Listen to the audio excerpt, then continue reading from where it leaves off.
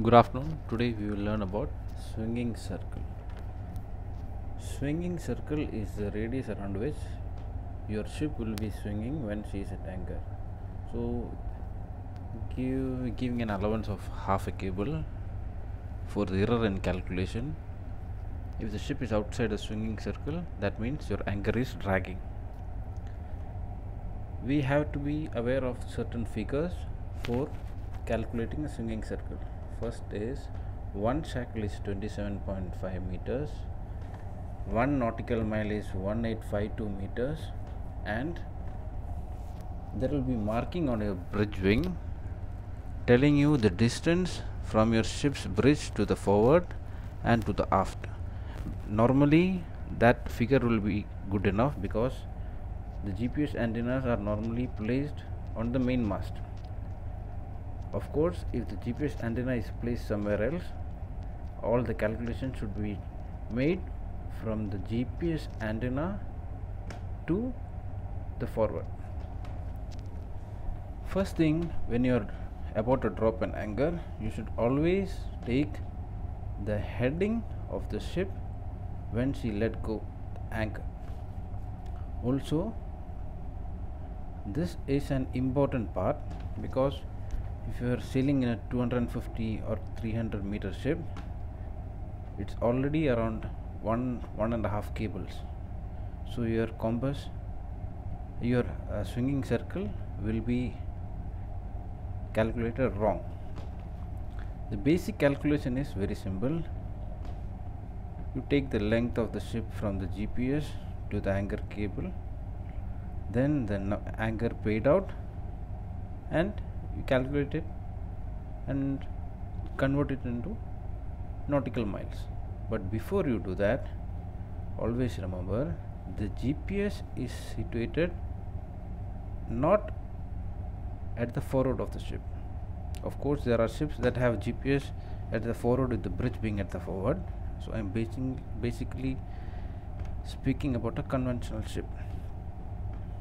So before you calculate the swinging circle let's first calculate how to convert the GPS position to the forward of the ship. For that once you let go your anchor take the ship's heading suppose it is 045 then if your ship is 280 meters long with the GPS antenna situated at 250 meters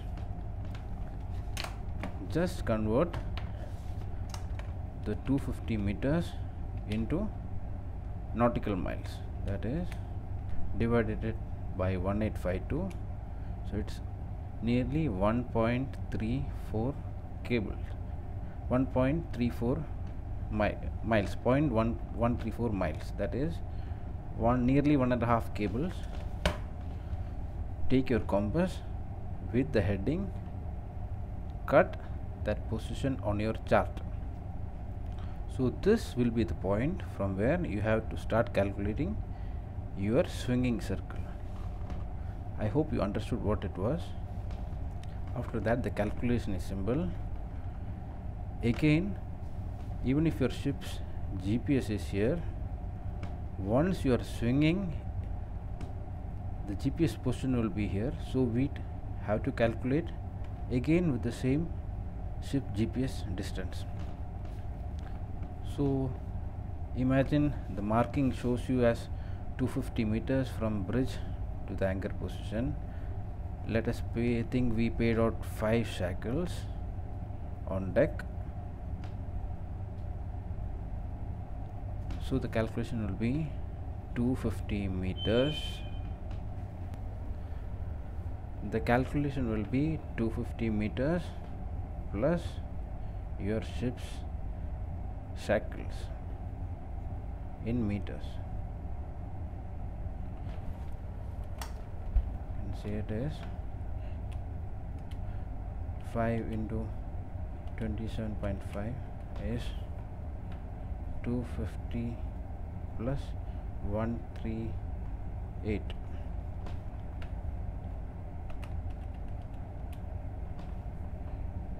divide by 1852 will give you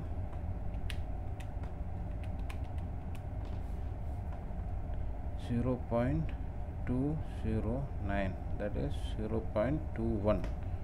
0.21 nautical miles will be your swinging circle. So I believe you understood how it is done. Once you dropped your anchor take the heading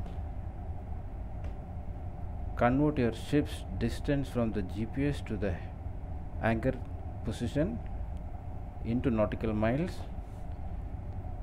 Cut it on your course I mean the heading. From there you draw your swinging circle. So the swinging circle is 0.21 nautical mile. So you take 0.21 nautical mile on your compass measure it on the chart and draw a circle. So the circle will be 0.21 nautical miles. It even if we give a leeway of around half a cable for error due to calculation this will be the maximum your ship can come out unless she is dragging. So make it as 0.25 for the safe side. So you keep a 0.25 distance on your GPS or on the chart. You will be able to find out if the ship is dragging another way to do it is as soon as the ship's anchor is let go when the anchor is let go at that exact moment press the MOB marker on GPS after that you should do it exactly at the moment the anchor is let go. Then you press the MOB then go to MOB you use this function the ship GPS will be giving you a swinging circle. So if you have already calculated the swinging circle the go to MOB point will never exceed the figure that we reached. I hope you understood how a swinging circle is calculated